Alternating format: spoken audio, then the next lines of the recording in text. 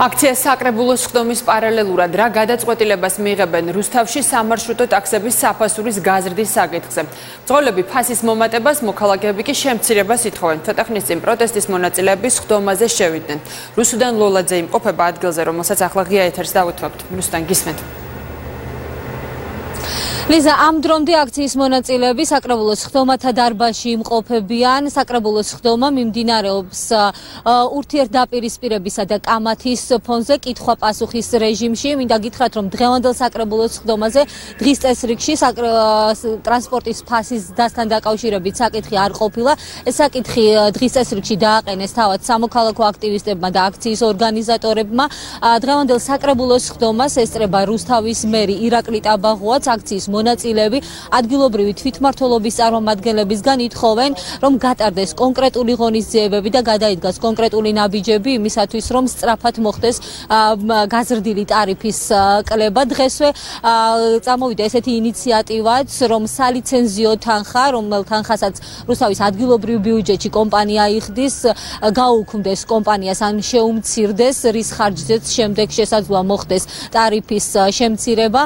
თუმცა რუსთავის მე მერის განმარტებით ეს იმდენად მიზერული თანხაა 9000 ლარზია საუბარი რომ ეჭობს კომპანია ამ შეთანხმებაზე წამოვიდეს. გარდა ამისა დღესვე ოფიციალური განცხადება გააკეთა თავად საკრებულოს თავმჯდომარე ლევან ონიანმა რომელიც ამბობს რომ ტარიფის ზრდა არის პროვოცირებული თავად კომპანიის მიერ და ამ გადაწყვეტილებას მხოლოდ მძღოლები ვერ მიიღებდნენ ხედავთ თქვენს რომ ვართ ძალიან მშვიდობიანები, არ გვინდა რომ რაიმე კონფლიქტი გადაიდოს ეს ყველაფერი, უბრალოდ ჩვენ გვინდა ამ პრობლემის სასწრაფოდ მოგვარება, ვინაიდან ეხლაც მირეკავენ რომ ადამიანები მუდმივად მძღოლებს ამგზავრები ერთმანეთში შედიან კონფლიქტში იმის გამო რომ მძღოლები ითხოვენ გაზრდილ ტარიფს, რომელიც ვერ დაამტკიცა ვერც მერე და ვერც საკრებულო, ნუ ჩვენთვის პირადად ვერავინ ვერ დაგვიმტკიცა ინტერტრანსმა მოახდინა ეს პროვოცირება კი? ცდილობს თავიდან აირიდოს რაღაც რაღაც ვალდებულებები მაგრამ სწორედად მის მიერ იქნა პროვოცირებული ფასის გაზრდა იმიტომ რომ ძღოლი ამას ინდივიდუალურად არ გააკეთებდა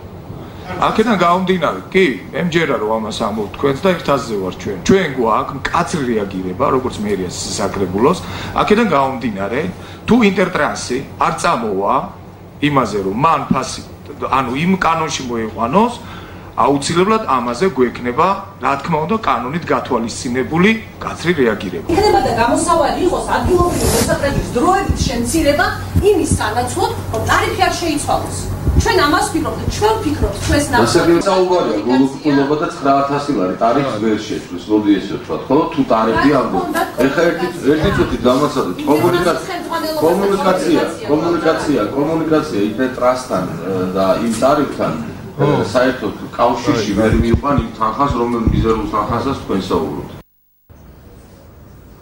რუსო თბილისის მიმართულებით მოძრავ ავტოტრანსპორტზე საფასურის ზრდა მოხდა. 29 დეკემბერს საფასური ლარნახევრიდან გაიზარდა 2 ლარამდე მას შემდეგ სოციალურ ქსელში სამჯერ დაიგეგმა საპროტესტო აქცია. სამჯერ შეიკრიბნენ რუსთაველი ახალგაზრდები და ისინი ითხოვენ ფასის კლებას.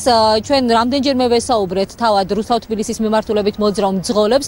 ისინი ამბობენ რომ თავად თვითნებურად მოახდინეს ფასის ზრდა და ამის შესახებ მათ არ ქონდათ მათ არ ქონდათ ნებართვა არც კომპანიისგან და არც ადგილობრივი ხელისუფლებისგან. იმ შემთხვევაში თუ არ მოხდება ტარიფის კლება, აქციის მონაწილეები აპირებენ რომ აქციები პერმანენტულად ჩაატარონ და მას პერმანენტული ხასიათი მიეცეს. თავარი მოთხოვნა არის რომ ნუ რა თქმა უნდა ტარიფის დაწევა და როგორ მოხდება ეს უკვე ამათმა ჩვენ უნდა მოვისმინოთ მათგან პასუხები როგორ აპირებენ ამ ყველაფრის გაკეთებას ჩვენი აზრით თავარი პრობლემა არის მონოპოლიური სისტემა. ახალი მოთამაშე ვერ შემოდის ბაზარზე და მონოპოლისტი კომპანია თვითონ აწესებს თვითონ განახოს ასე ვთქვა თამაშის წესებს. ჩვენი მოთხოვნა იყო და რჩება ტარიფის კორექტირება, დაბრუნება იმ ზღვარზე, საიდანაც გაიზარდა, ანუ ლარნახევარზე დაბრუნება. დღეს ვაპირებთ ხელშეკრულების მოქმედი ხელშეკრულების პირობების გაცნობას და ამის შემდეგ ჩვენ ზუსტად დავსახავთ სამოქმედო გეგმებს, ჩამოვაყალიბებთ მოთხოვნებს და ამის შემდეგ გვეცოდინებ, ანუ ჩვენს გვეცოდინებათ, თქვენს გეცოდინებათ, როგორ გაგრძელდება ჩვენი მოქმედება. თავად კომპანია ინტერტრანსი ამ დრომდე სატელევიზიო კომენტარს არ აკეთებს, რაც შეეხება მძღოლებს, ცოტა ხნის წინ დაგვიკავშირდნენ ისინი ჩვენ და გვითხრეს რომ 19 საათზე გეგმავენ აქციას რუსთავში, მათ უერთდებიან პროფკავშირების, ტრანსპორტის პროფკავშირების წარმომადგენლებიც და მათი პოზიცია ამ აქციაზე გახდება ცნობილი. მადლობა რუსუდან, რუსუდან ლოლაძე საუბრობდა რუსთავიდან პირდაპირ ეთერში.